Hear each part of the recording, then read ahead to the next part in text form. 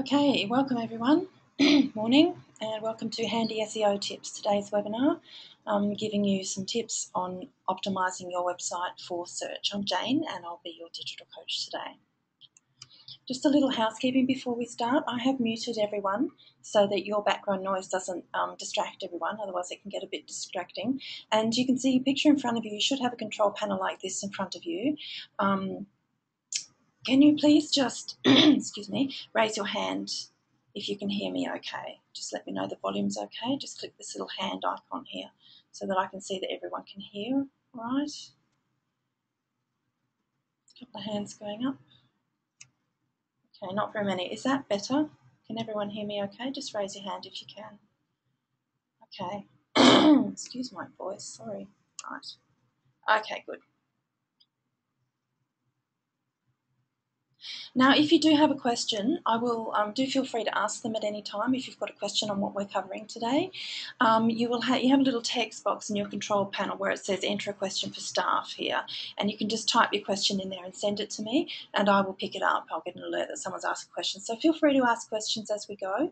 If I don't get to answer your question during the webinar, if you can hold on at the end, I'm happy to do that then. But if you have to go, then I will definitely get back to you this afternoon um, with whatever your question is. So do feel free to ask as we go.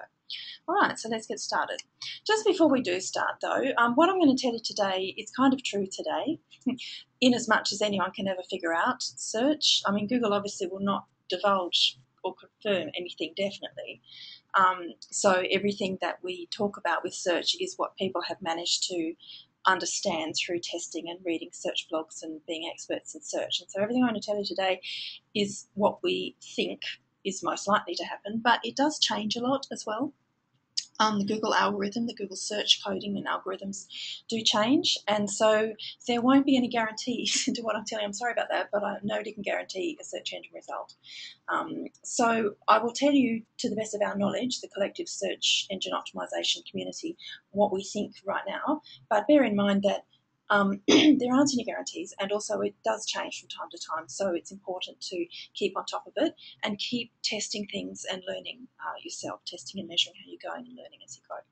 So with that disclaimer out of the way, let's talk about what we're going to talk about.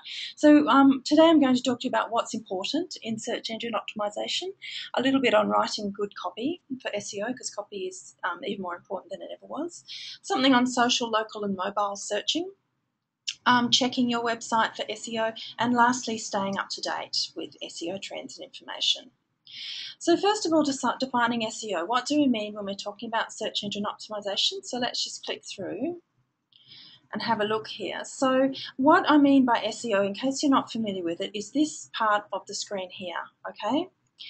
So um, normally if you do a search, you would might come up with some ads here. At the moment, these ads are on the side. Sometimes you get them up the top here. This is not SEO, this is paid. Okay, people have paid money to get here.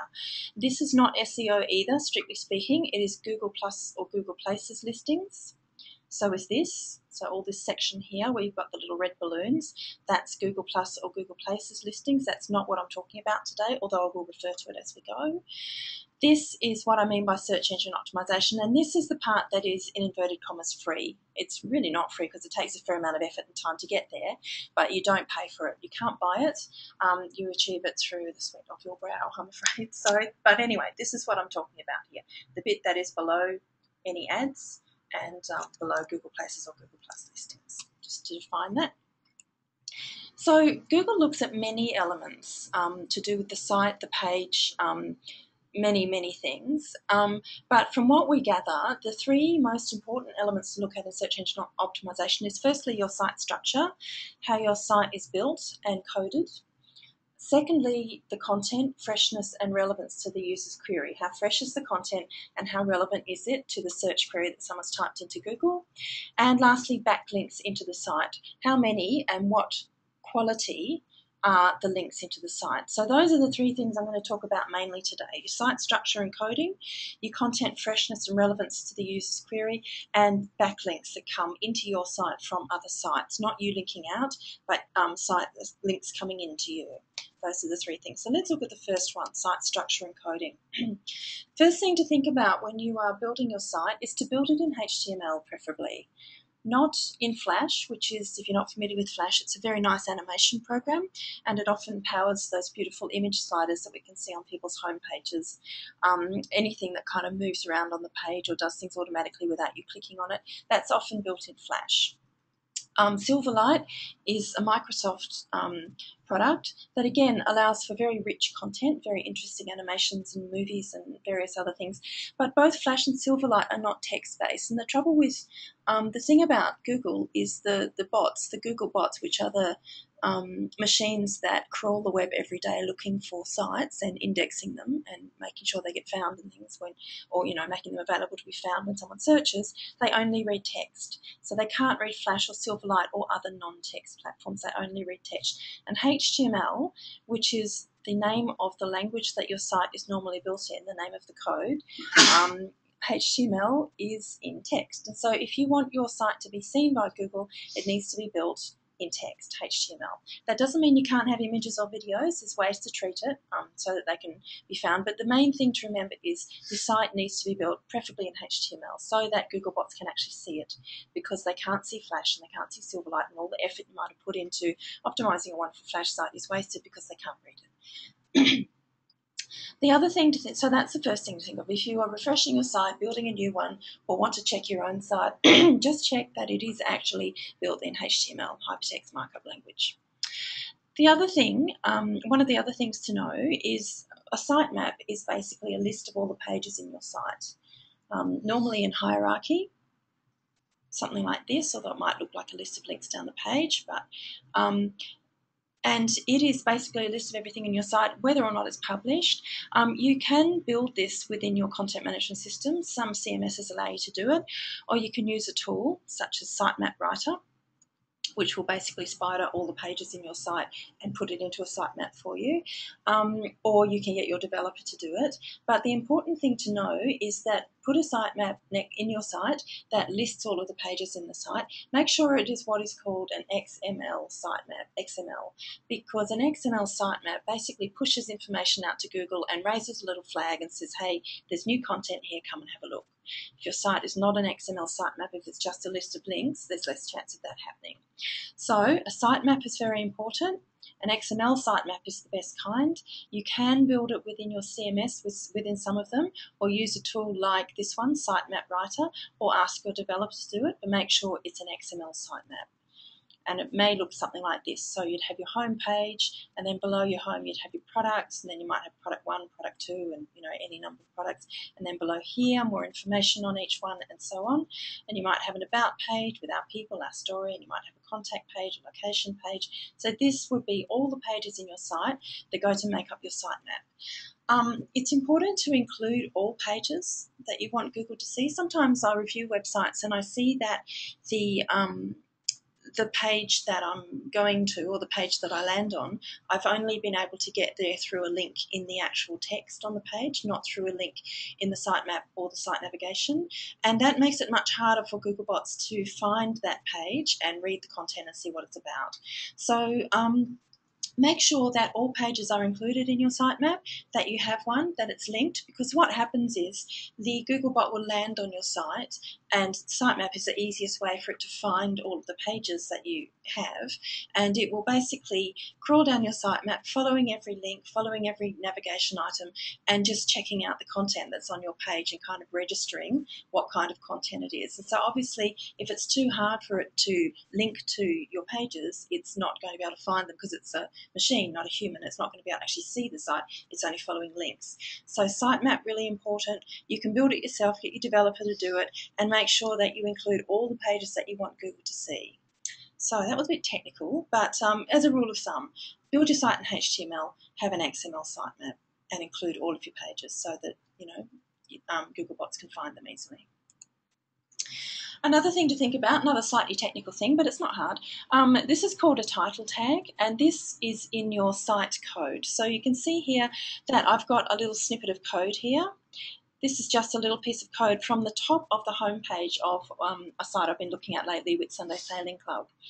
And um, your site will have this as well. It's not difficult to find. If you just right click and go view source, you can find it.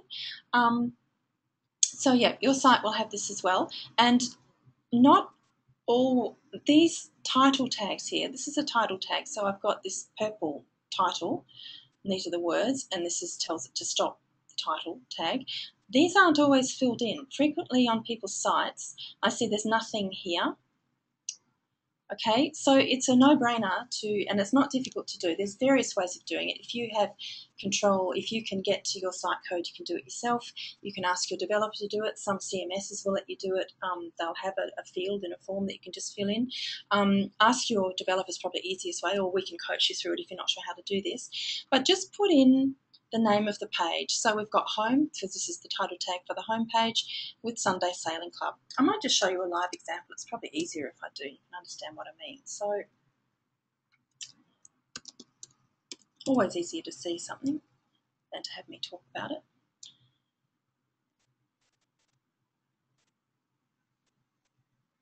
So here's our lovely website.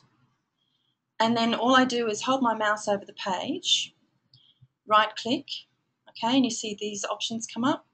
I just go view page source, and there's all the code for that page, okay? It looks a bit daunting, but it's not scary. Um, and you can see that's our title tag here. So go to your own, um, maybe test your own site uh, when you're done. Just go to your one of your pages, do a right click and call up the code and look for the word title and it's normally close to the top here so it shouldn't be too hard to find. So make sure that you have um, each of your page names in each so each, each of your page names has a title tag, and obviously it will be different for each page because each page is called something different. So we have home, racing, sailing, cruising, sailing, dining and social, marine training. So when I go to these pages, these title tags will be dining and social Whitsunday Sailing Club, marine training Whitsunday Sailing Club, cruising sailing Whitsunday Sailing Club. So just make sure, have a look at your site and make sure that your title tags are all filled in.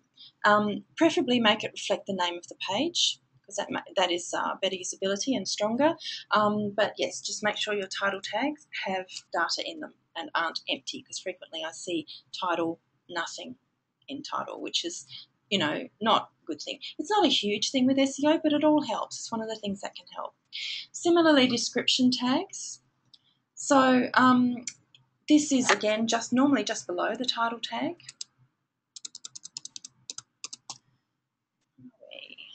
Source. I don't think they have them. Somewhere in here will be a description tag, and often they are kind of here. Description equals something. Um, so what this company has done is just written a nice little description of who they are and what they do. Rent a Home offers a wide range of holiday and corporate accommodation listed by property managers, owners for short or long stay, check availability and book securely online. And that stuff they've written here in their page appears here when someone searches. So, Rent a Home offers a wide range of holiday and corporation accommodation um, listed, listed by property managers and owners for short and long stay. So, that line of text here has appeared here, if that makes sense. And what this does, it doesn't hugely help your SEO, but it doesn't hurt to do it because it will help a little bit, but also it may entice a user who's reading a nice description here on their search engine results page they've typed Sunshine Coast accommodation into Google, this site has come up. Here's their description. It might entice them to click through. So, two things to do title tags, description tags. Another thing to avoid when you're coding up your site or working on your site is what we call duplicate content. So Google uh, normally penalizes sites if they have pages that are duplicated on the site. You don't want to have two pages exactly the same. Avoid it. I think this would be rare with most of our um, people listening today, but just in case, um, don't have the same content. You can see this is the same on the same page. If you do have to have it for some reason, like it's content that applies to many products or something, um, you can use what's called a robots command. No index. And no index says to the Googlebot, hey Googlebot, just ignore this page.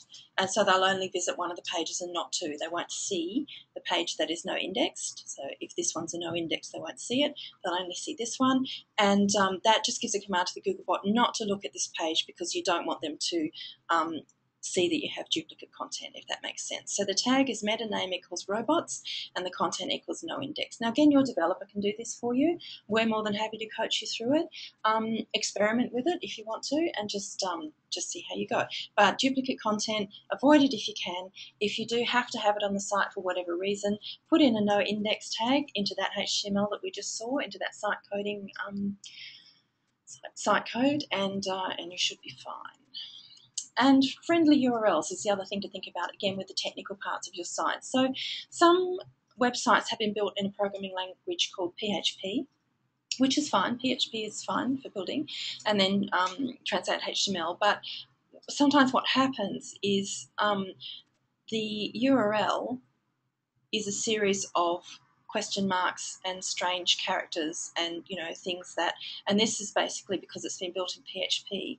Now Googlebots are looking for words to match. Okay, so when someone types in a keyword like Mia Mia bed and breakfast, hopefully they've typed that in. Google will come to this site and many others looking for those words to match it. And of course, this isn't a word, so um, it can't match a code string with the search query. So therefore, it's much less likely that your page with the code string it will get found on Google. So these are called friendly URLs. By friendly, we mean use words not code strings. And it's perfectly possible to do this. Your developer can do it. Um, translate a PHP URL like this one into one that has real words in it that a Googlebot can read um, in inverted commas and match to the search query if that makes sense. So if you if your site has these kind of URLs, ask your developer or find um, if you do it yourself, find out how to translate it into something like this that has real wor- words in it and finish with finishes with preferably HTML or HTML. Hope that makes sense. So friendly URLs are important as well. So in summary, that was very technical to hit you with early on, but anyway, site should be coded in HTML. Avoid things like Flash or Silverlight or other platforms that are very visual and beautiful but don't generate um, text. Make sure you have a sitemap. Make sure it's an XML sitemap. Avoid having duplicate content. If it's absolutely unavoidable, use a robots.txt command to tell the Google not, Googlebot not to look at the duplicate page. Metadata tags, title and description tags, and friendly URLs composed of words, not series of codes.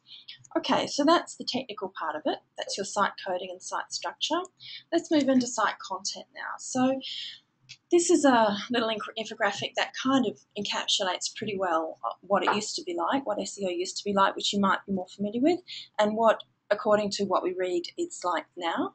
Um, over here, uh, used to be technical that SEO consisted of basically coding up your site and writing your content for a Googlebot, not for a user. And so you would see um, pages that had clearly been written with keyword stuffing in them with lots and lots of keywords that were kind of okay to make sense, but they weren't very nice to read. Um, and also there would be things like people, uh, they would build links with just anybody at all, um, or go to what's called link farms, um, when which were just basically lists of links, um, and they would get them to link into the site. Didn't matter about the quality or what kind of site it was or anything like that. Um, content farms similarly, just articles and articles and articles just going out everywhere. So um, all designed to try and trick the Googlebot into ranking your site highly, um, old-fashioned SEO. So if you've got any of that sort of stuff going on with your site at the moment, it might be a good idea to have a look at it because um, this update here and a series of other updates here when Google updated their algorithm meant that this kind of SEO, which was basically about keyword stuffing and links and a few other things, um, didn't work. And many companies found that their rankings dropped very substantially overnight when this algorithm and some of the others came into play. And so, what um, SEO is more about now, from what we gather, is more about delivering content that is fresh i.e., don't let it all sit there for six months. Try and update your site regularly. Um, that is useful, helpful, and entertaining. So the old days of putting keywords throughout your copy are kind of gone. You do need to have keywords in there, but um, the more important thing is that your content is kind of written for the user rather than from the Google, bot, and is useful and helpful and entertaining and preferably unique kind of content as well. Um, yeah, optimize for the user, not the search engine. Engage your audience with two way conversations in social media and earn your marketplace's undivided attention through online PR. So, obviously, we're busy and we're small organizations, so we may, may not have time to do all of these things. But the most important thing to remember is that content that is useful, helpful, entertaining, and fresh is really going to help your SEO a lot more than a um, a keyword stuffed page, which you may have had from the old days of SEO. So let's have a look at that in a little bit more detail. So fresh content, I mean regularly updated. And the easiest way to do this is with um, a blog, basically, that might have articles or short posts in it. Um, people always ask me how often should we update, and I always say as regularly as you can, at least monthly, um, preferably weekly if you can, but um, I know that this isn't always possible. Sorry, excuse me, it's just my virus protection having a moment. Okay, so regularly updated articles, blog posts. Um, you know, rather than trying to update pages on your site where there may be no reason to, a blog is kind of very easy to update because you can just write about what's happening this week or, you know, something that you experienced yesterday and it's good um, fodder. Plus, it's interesting. Um, now, your text should contain keywords, words that you are trying to be found for on Google, which might be your um, location, your city, your product, like accommodation or tours, whale watching. So your text should contain those keywords, but avoid keyword stuffing. Don't have them in there too many times, and make don't um, put your keywords in at the expense of writing nice, readable copy. Interesting, valuable content that people want to link to is the key because if your content is interesting and valuable, then it's likely that other bloggers and other sites and um, you know overseas sites may be looking for what Australia's really like, that sort of thing, may link to you. And, and that's what we want. We want backlinks, as many as possible, from quality sites. So, interesting content that people want to link to is great. And the other hint here is to cover all the Google products off. It's more engaging for the user and helpful for search. So, what do I mean by all of that? So, good SEO copy. Your heading your body copy, that is the main article, and your link text contains some keywords but not um, stuffed with them. And the reason why I say this is here's an example. If we search for the words click here, you'll notice that Adobe normally comes up top. ABC IView seems to have pipped them today, probably because I just visited them the other day and that's to do with me being logged in. But Adobe normally comes up when I'm logged out first. And why would that be for the words click here? Because most sites in the world have um, a PDF or a flash file or something that requires Adobe Reader or an Adobe product in order for them to work. And so most sites in the world say this document requires Adobe Reader, click here to download it, and they link to Adobe. So hence the importance of keywords in your link, but also right for the user at the same time. One or two words on the page, not lots, I would go for one or two or three keywords um, I would optimize for alt tags and captions for videos and pictures. So make sure that if you do have videos, that's absolutely fine, but you can write a little caption underneath it saying maybe what the video was about. And again, it's fine to have a keyword in there if it fits naturally. I wouldn't stuff it in there and make it an awkward title and metadata title description as we said. So this is good SEO copy. So it should contain some keywords, but it should be valuable and interesting as well. So we're writing for the user and incidentally including keywords as we go. We need keywords in there for the Googlebot to find you, but we want copy that's interesting and enticing and that people will link to. So um, this is the essence of good SEO copy. Do it regularly too. So keyword stuffing, don't do this. Okay, this is old SEO. Um, clearly, this this uh, page has been optimized in the old fashioned view for the word fire pits. And you can see it's stuffed throughout this whole article. And while that might have worked um, some time ago in the old days of SEO, it really doesn't work that well today. And also, it's not very nice copy. Um, so it's unlikely that people would pay a lot of attention to it or like it or link to it, which is what we want at the end of the day. So to change this to new, it's fine to have it in here and I would have it maybe once or twice or three times throughout the page. Up the top if it fits, but it doesn't really matter anymore. But I certainly wouldn't have it as many times as he's got it here because it's really hard to read and difficult, and it looks like it's been optimized for SEO. So avoid this. Um, yes, maybe, maybe, that sort of thing. So avoid keyword stuffing. And I mentioned earlier cover all the bases. So um, Google has a number of different products, and if you are in all of them, as many as you have time and uh, resources for, you've got more, much more likely to be found with SEO.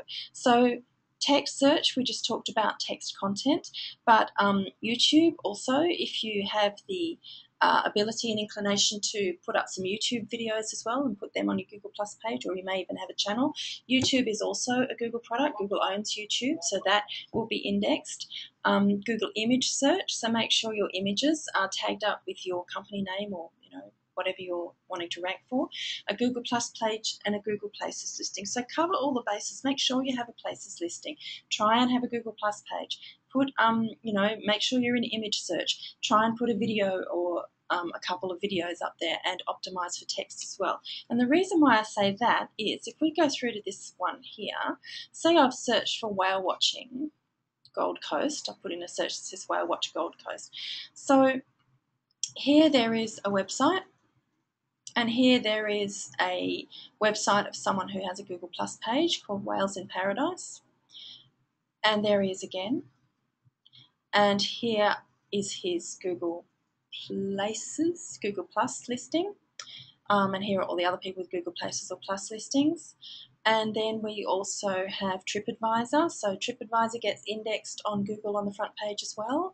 And um, then a number of other websites as well. And finally, down the bottom, we have a paid ad. So you can see that there are a number of different ways that people can find you if they put in whale watching Gold Coast. There's a website with a Google Plus page. There's a website anyway. There's a Google Plus places listing. There's a TripAdvisor review. So cover all the bases is what I need. What I mean, as, as many as you have time for, um, because you could get to the point where you could you know, have a very strong presence on the front page of Google. If not via your website, then certainly via your Google Plus page and or your TripAdvisor recommendations or even something like Wikipedia.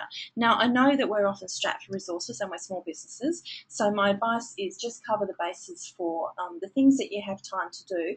But over time, try and uh, be found out there because, and don't just rely on your um, site content because there are many ways that you can just tweak things a bit. And as you can see, like the um, Whales in Paradise, you can have quite a strong presence on the front page of Google for the words that you're trying to rank for, whale watching Gold Coast, for example. So I hope that makes sense. So relevant, fresh content written for the user. In summary, no keyword stuffing. Have one or two or three keywords in there, but don't stuff it as we saw with the fire pit example. And cover all the bases. Have your content in as many platforms as you have time to do well. And the last thing with um, of the three that I talked about, so we've talked about the technical aspects of site coding, we've talked about your site content, backlinks. So um, links into your site links into your site from quality sites is what we're after here. By quality, I mean sites that have high traffic and sites that are relevant to you. So um, we don't want to be having links in from sites that have been sitting there for a year and not been updated, that have quite low traffic that isn't climbing, it's fine if it's climbing, um, or that have nothing whatever to do to our business. Those sorts of things will not help at all um, with Google bot rankings and may even uh, lower your ranking. So um, links in from high traffic and relevant sites are the best thing you can do. So you might say, how on earth will I know who's linking to me? Okay, so there are a couple of tools that you can use in order to find out who is linking, linking to your site. One of them is called SEMrush and this is their logo here, SEMrush. Another one is called Alexa, and this is their logo here. Um, and there is both a free and a paid option with SEMrush.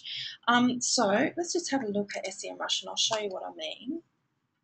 Just close a few of these windows, because otherwise we're going to get overwhelmed. Bear with me a sec. Okay, so this is SEMrush, semrush.com is the URL, quite easy to remember. If you can't remember it, just Google them, you'll be able to find them. And what I have done, I've gone to the homepage of SEMrush and I've typed in just telstra.com.au. So you could type in any URL here, your own site, your competitor sites, either, whatever you like. I've just selected Australia from the drop down here because I'm interested in Australian results. Okay, so I've typed in telstra.com.au, selected Australia, and I've hit search, and a whole huge amount of information comes up about the telstra.com.au domain. Um, rankings and traffic and organic keywords and all sorts of stuff that is useful but not relevant to exactly what I'm talking to you about today.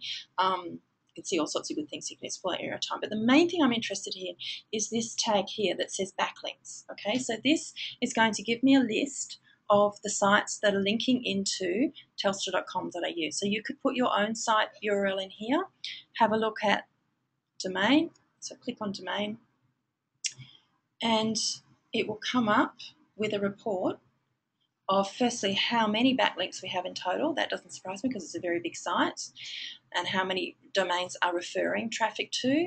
And these is this is a list of the um, sites that are linking into the domain kels.com.au. So Kempseyshire Council Library from here is linking to here. They must have something about seniors. I'm not quite sure what that would be, but anyway, that's a link into that Telstra domain. Um, update. This, this is a looks like a news article. Yeah, ibtimes.com. It's an article on Android, and so that is linking to Telstra as well. There's uh, an ad for BlackBerry. It looks like. I'm not sure. So you can obviously click on these and find out what the sites are. But you can do this with your own site and get some information on who is linking into you. Are they good sites? Are they high quality, high traffic sites? Are they ones that look a bit dodgy, like link farms or strange sites that you don't know anything about, or things that are not relevant to your business at all? So, something that is completely unrelated to tourism. Those are the ones that you don't want to have. Um, yeah, so if you do find yourself in that situation, um, best thing to do would be to politely ask them to stop linking to you because that's about all you can do. But at least you can get an idea, firstly, of how many links you have in, and if it's only two or three, you might want to increase that. Um, and secondly, who is linking to you? Are they relevant? Um, and are they fresh links? This is all free. Okay, so I've just got this on a free SEMrush article. You notice that as I scroll down the page, it says upgrade to view more. So if I wanted to see all 98 0.7 thousand total backlinks, I would have to buy a subscription to SEMrush. But it's not that expensive. I think it's about $30 or something for a month. And so uh, consider that as opposed to the cost of advertising. You might want to consider just buying a subscription for a little while, finding out all these sites that are linking to your site if there are kind of more down here, and um, then working on what we call a backlink strategy. So this is one tool. Alexa does something very similar, alexa.com, but SEMrush I like because it's um, just clearer, but Alexa is good too. Um, so once you know who is linking to you and if they're good quality sites and you want to keep them or if you haven't got very many, then I would follow what's called a uh, backlink strategy. Um, so you could look, for example, for businesses that are complementary to yours that you might already have a relationship with, maybe suppliers or um, people that you do partnerships with in other ways. Um, have they linked to you? If not, would you consider approaching them and asking them if they will link from uh, their site to yours using, uh, preferably using keywords in the links that you're trying to rank for, like Sunshine Coast Accommodation or something, or the name of your business or whatever. So we can that is called a link exchange. Okay, so that's one of the things that you can do. One of the other things you can do is um, if you you know consider sending uh, articles to other quality sites that it will accept articles with a link back to your URL. So we can talk to complementary businesses and do a few other things, but you can also, um, if you're in the habit of writing articles and you know you're good at it and you would be able to approach um, sites, you can send them out, uh, link back to your own domain, and that can be really helpful in uh, obviously because that's linking from a high quality, high traffic site back to your site. But backlinks can be really, really important, or you know, from what we read, are really important in uh, increasing your search engine optimization rankings. Some other things to think about. So I've talked about coding up your site so Google bots can read it making sure you have fresh quality content written for the user and not keyword stuffing, but having keywords in there, and backlinks into your site. There's a couple of other things to think about that kind of relate to these three things, but I've treated them a little bit separately, um, otherwise it all gets a bit too complex. So other considerations, social media and its relationship to search, local search, what we mean by local search, and mobile search, people searching on tablets or phones. So Firstly, social media and search. So, links from social media sites such as Facebook, Twitter, TripAdvisor, blogs, others can be helpful, if not in increasing your ranking. Certainly, as we saw with the um, Paradise Whale Watch site, at least getting you found um, high up on Google. You remember that there was a TripAdvisor link, and Facebook pages are also indexed by Google now.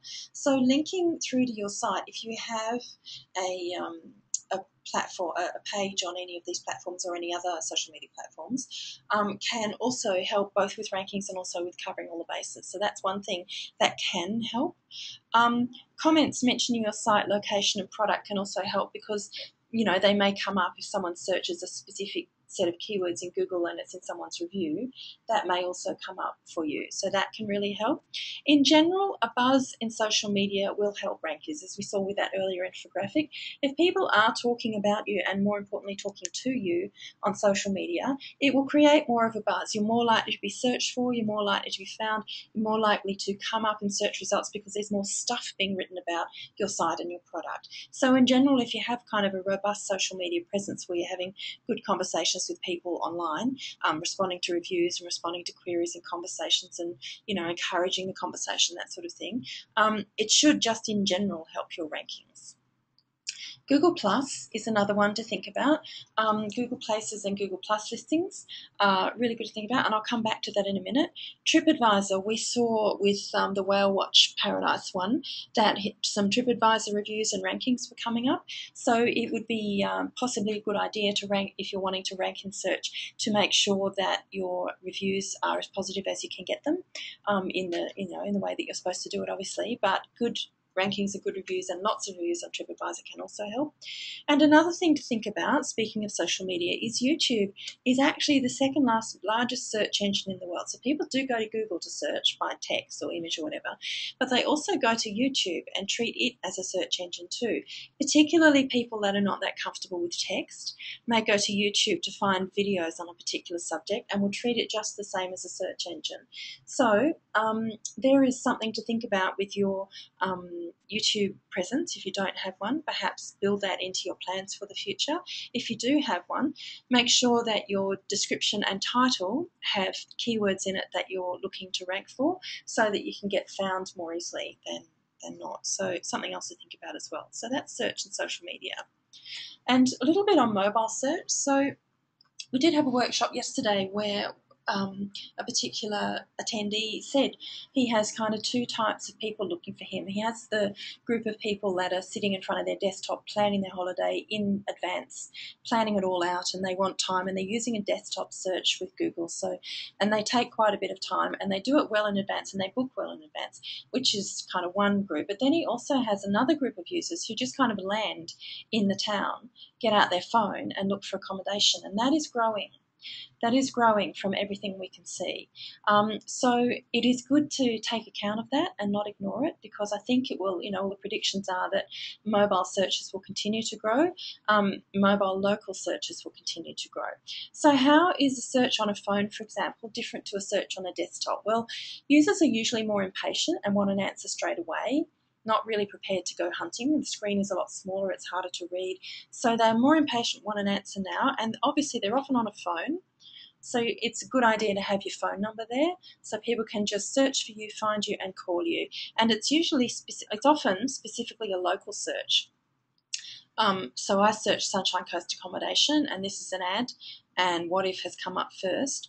Um, some other things why it's uh, how it's different is that this is a very small screen and people will have to scroll a long way. And so if we scroll down below Wotif, this is the next thing we would have seen, which is our Google Plus Google Places listings.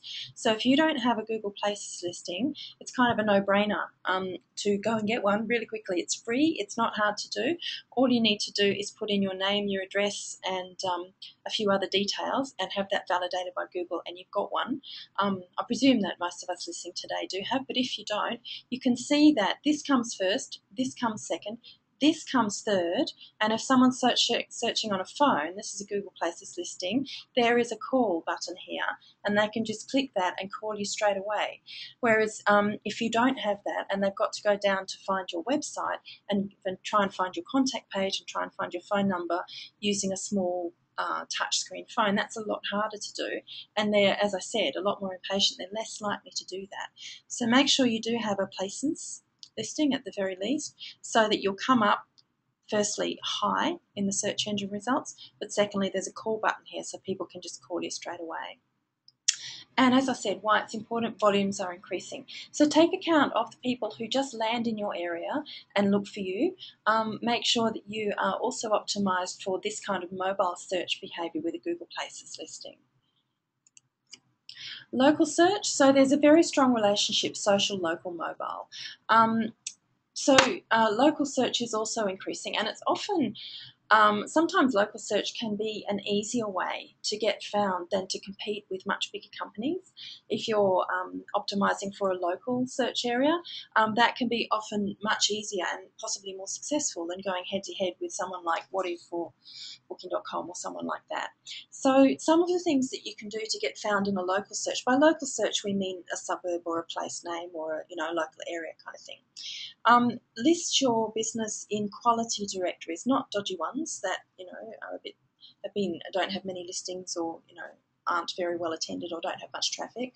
Um, so ones like True Local, Gumtree, um, industry or member directories, any opportunities to list in those with your URL can be a really good way of getting found in a local search.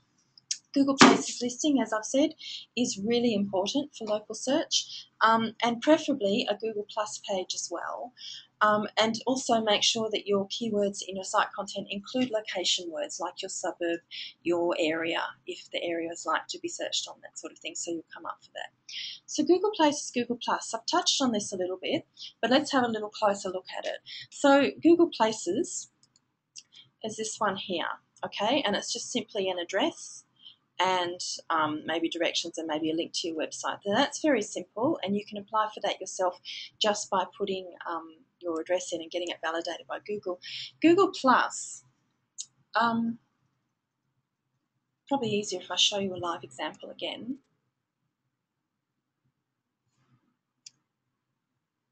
Just give it a minute.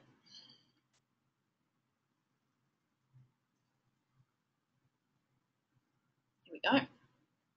So I've searched, I've come here and I've searched Sunshine Coast accommodation. These are paid, okay? Um, this is what we're talking about here. So this is Google Play. This is where Google Places and Google Plus listings will appear. And you notice that they are always just below the paid ones and above the organic ones. They're always here. So they're the next thing that people see after they see the things that people have paid money for. So this is free okay? They haven't paid money to be here. This costs, all right? Um, this is also free, but it's this is much higher up the page, as you can see, much higher up the search results page.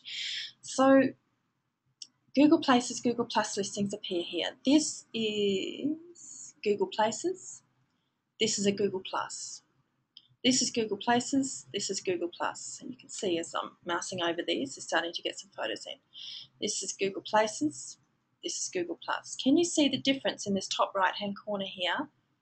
Something that just has a places listing, um, like, where were we? A core. Um, yeah, we have a photo and a map, photo and a map, photo and a map, and obviously we can click through here and um, and find, you know, we can click through here and find a map to the page. But um, what uh, there is a relationship between Google Places and Google Plus. If you have a Google Places listing and you have that registered, you will probably have automatically been given a Google Plus page from Google. That will just probably have your company name and address details in it. And the thing to do is to go to that Google Plus page, claim it. See if they've done this. Yeah, this one I think is unclaimed by the look. Yeah. So if it were me, I would be claiming this page, which is a process that Google can step you through, and putting in a lot more information into it. Um, so if someone searches accommodation Brisbane and you have a Google Plus listing or Google Places listing, you're more likely to get found, as we saw, you get found up the top. It's usually displayed above the organic results, as we saw. And I would claim that page and put in, at the very least, your obviously business name will already be there and address, but your phone number. Encourage people to review you on your Google Plus page. Put in photos and videos to engage new customers, and any other relevant information like your opening hours, your menus, your phone number, any other relevant information. Now, Google Plus is a little bit easier to manage than Facebook in that it's a bit less about conversations with people. Um, I wouldn't put it up and completely leave it, but you can you don't have to maintain it as often as you do Facebook.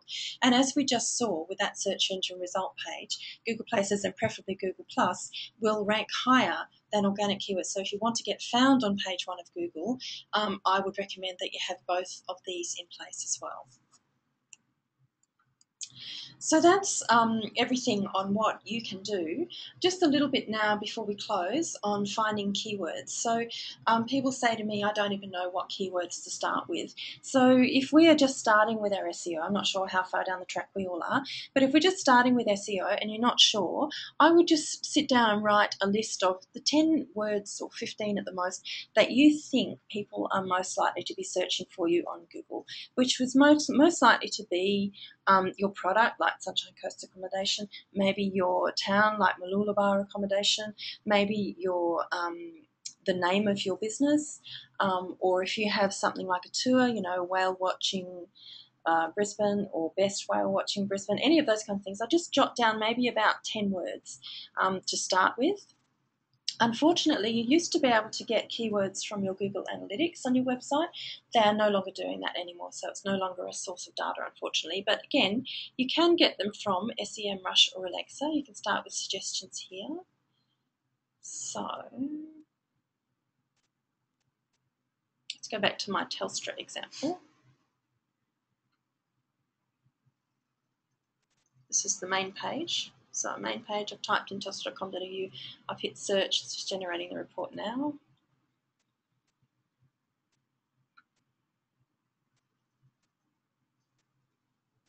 Bear with me, there we go. So here is a sum, you know, the, the top five organic keywords that you are appearing for now. Um, so if uh, if they're not, if the ones that you have in there are not here, maybe there needs to be a little bit of work done on those keywords. But it will also give you a full report of words that you may or may not have considered trying to rank for. So that's one of the ways that you can find. we go, all down the side here. And again, this is freemium, so this you get for free, this you get for paid. So that's one way you can find out. Uh, you can also use something like just the plain Google search. So which tends to predict words as you go.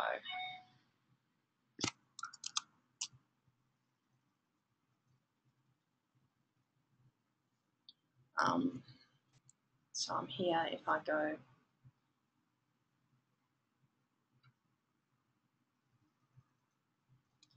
Um, so if I start to go say rainforest. Oh it's not doing it for me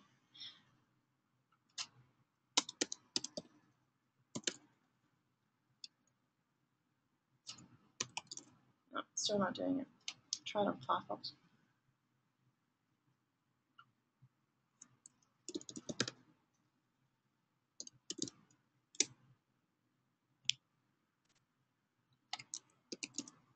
Okay, there we go. Um, so I'm starting to write rainforest here. And you can see that as I'm typing, it is suggesting search terms here. And as I keep typing, they keep changing. So you can look through this whole thing and see if there are any relevant ones. Um, um, what else could we use? Um, markets, maybe.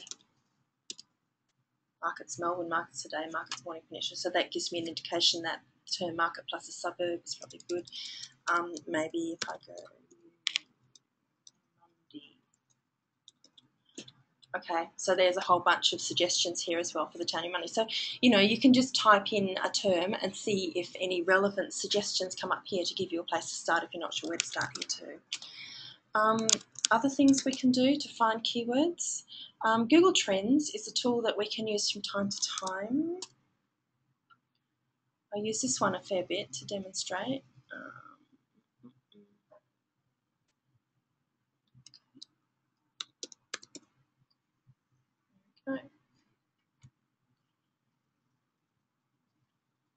Okay, so say I would put in a search term here that I wanted to find out a bit more about, like weddings, so that's my business.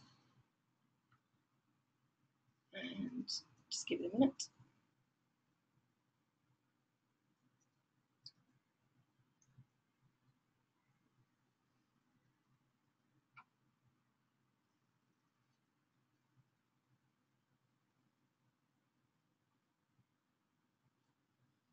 Okay, and what it's given me there is a graph, if you like. These are the searches that have people have typed into Google for the term weddings since 2005 or 2013. Okay, and you can see the term is actually trending down, which is interesting. But why I'm showing it to you is um, it will often suggest terms here as well. And so we've got wedding, we've got dresses, beach weddings, wedding venue, wedding dresses for wedding, dresses for wedding. So again, if you're not sure where to start, this can be a really good place to start generating some interesting ideas for um, this, the keyword weddings.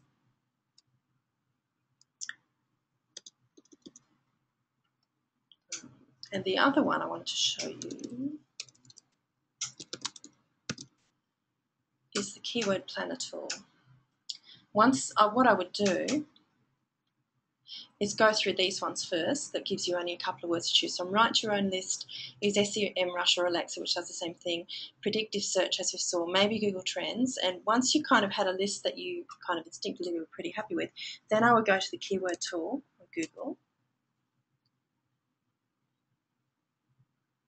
And the best way to find it, to be honest, is to Google the words Google Keyword Tool um, and go search for new keyword and ad group ideas. And I could put in here weddings, oops, um, for one of it, you know, just as an example. And you can put in a whole bunch of information as well and uh, set these filters and hit get ideas. And what it will do is present to me um, keywords like the one I've just typed in.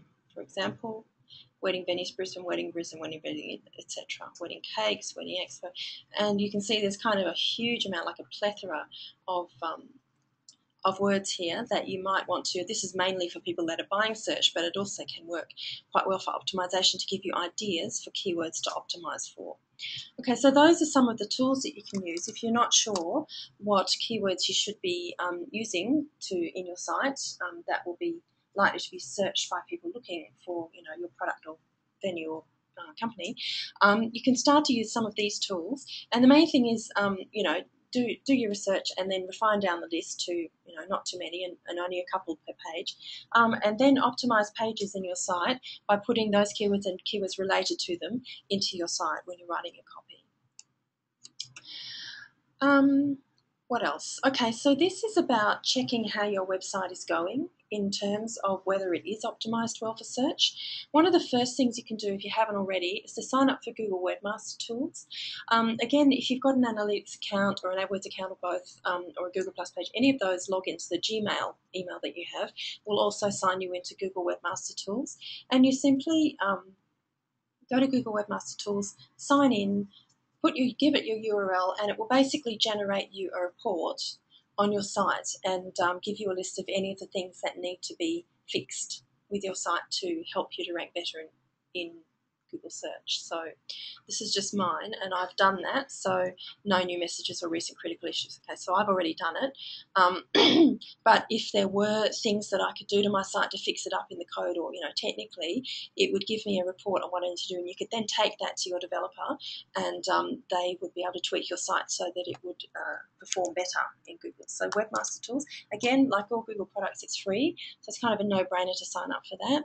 Um, SEMrush for backlinks you've just seen. If you wanted to check the rank of your page, and this is getting um, into a bit more technical things than you may want to do, but this is sometimes fun to do.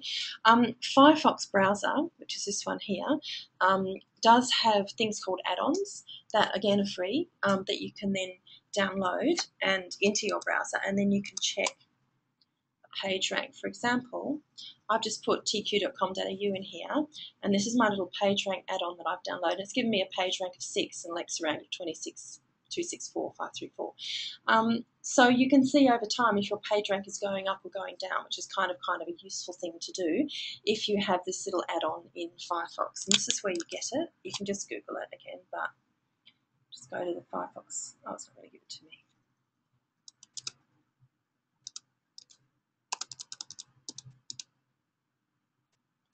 It here.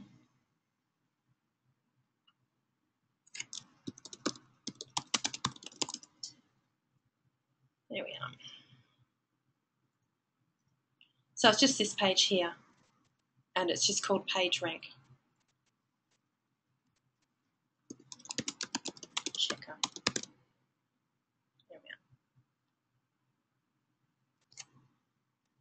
Okay, so you can just download that um, and you can use it in Firefox. You browse to a site in Firefox and it just gives you a little page rank here, which is quite a nifty thing to be able to do. But of course, the main thing is is traffic to your site increasing, and and is your bank balance going up? Those are the real measures of success in your SEO. You can tie yourself up in knots worrying about this keyword and that keyword and other things, but at the end of the day, it's about are you driving traffic to your site that is relevant and that is converting? Are you earning more money from your efforts? Is the main thing. And lastly, staying up to date. So, I mean, you know, there are there are many blogs and sites and people you could subscribe to and things to stay up to date with search engine optimization if you're so inclined. I'm only going to give you one. There are many more. Um, Moz.org have been doing search for a very long time, and I usually find um, if something has happened with search engine optimization and someone's ranking has dropped, if I go to Moz, they're normally on top of it, and they would normally be able to tell me um, or you know have an article about what's going on with Google and usually some suggestions for dealing with it. So um, I'm only going to recommend that one. There are many more, and you might want to try a few and see if, if they're relevant to you. But moz.org is one that I really would um, really would encourage you to have a look at. Even you don't have to sign up, even if there's a particular issue you're interested in. They have a number of articles, heaps and heaps of articles and uh, checklists and advice and all sorts of things. Um, yeah, so you can learn about local search, products, learn, community. They've got blog posts, getting reviews the right way for local business, how can mobile SEO help my non-mobile or local business, new title tag guidelines, preview tool, when building communities isn't the best way to build links. So all the things I've been talking about today, they will have posts on and advice and, and they're usually well written, they're usually well researched. Um, so I would definitely recommend that you refer at least to them and to any other blogs that you find useful to stay up to date. So that's about all that I had for you today. Um, hopefully I haven't bamboozled you too much with all this technical stuff, but um, hopefully it's been interesting and informative. If you have a question that you'd like to ask me now, please do feel free to type it into your um, your box there. I'm more than happy to take questions now because we've got just a couple of minutes before we're due to finish. Does anyone have any questions on what we've covered today or anything else to do with SEO? Any burning questions that were not answered that you'd like answered? Nope, resounding silence.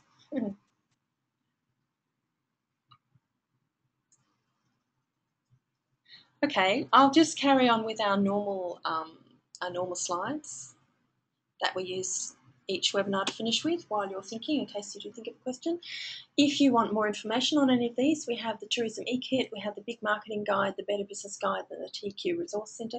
These are all online at the TEQ website, so just um, log into, uh, you know, find TEQ in your browser and um, these are readily available for you. They're all free. Our next webinar next week is Who's Who in Social Media, so an overview of the major social media platforms, um, the kind of markets they attract, and um, basically just a social media 101 for those who are not that familiar with it. That will be me again, and you can register on this link here, tourismte.queensland.com slash digital ready is the link to go to. And we also have a whole series of other webinars that we've just released there, so you might want to have a look on this page and just see what else there is that might interest you. Don't forget, Digital Ready program has workshops in region from time to time, so check with your destination specialist when the next workshop is for your area. Either Susan or Mirko will be giving that, and they will also do one-on-one mentoring sessions with you about anything to do with digital that you might have specific questions on. They can sit with you for an hour and help you along. Um, we also have a coaching service by phone or email. Feel free to ring us or send us a, an email if you have a particular problem related to your situation or want some advice or some help on anything at all digital related. Happy to help. And of course, the webinars, as I've said, every Tuesday at 11, we have a whole new series coming up. So register on te.queensland.com slash digital ready. Yep, these are all the workshops that we have um, from time to time. So you can see there's a huge amount of information here and hopefully one of them will be of interest to you. So contact, as I said, your destination specialist for what's coming up for you in the future. Don't forget our digital Big Bang conference. Save the date, Monday, the 2nd of June 2014. Um, it's going to be an amazing conference with guest speakers from many of the major platforms that we all talk about all the time. Um, really quality presentations, and it'll be a great day. So save the date, 2nd of June 2014, and you can book tickets at this URL here. If you need help with that, give us a call. Here we are. Contact us at any time. Here's our phone number 35355800 or digitalcoach at queensland.com. You can get in touch with us anytime if you have particular issues that you'd like help with. Feel free. Okay, question. Okay, so question, you mentioned good local search sites and bad ones. Which are the bad ones? So bad's probably the wrong word, Christina. I mean um, ones that don't have many listings or they're very small or they just look like they've got a lot of advertising on there or, you know, the, the main ones I'll be going for are um, True Local, um, Google plus Google Places listing, um, Hotfrog, Gumtree, um, maybe Yellow Pages, depending on what they're, you know, free and paid models are. And I would avoid most other ones unless they're kind of reputable industry ones. Okay, um, ones that are just small and very local and you know the site is not well maintained and it doesn't have fresh content and there aren't a lot of listings those are the ones i would avoid but if you have a specific one you'd like me to look at i'm really happy to do that um, just as a one-on-one with you if you like if you're worried about one of your listings that you might have don't worry, it's it's not a huge deal. I would just go for the the major ones that I've just mentioned there, rather than um, small ones that may not benefit you in any way. Are there any other questions at all before we finish? No. Okay, well, thanks everyone. Thanks for sticking with me, and I hope that you found today's session useful and informative. Don't forget, please do get back in touch um, if you have any specific questions on this or anything else that we cover in our webinars. Happy to help. Thanks everyone for attending today. Bye bye.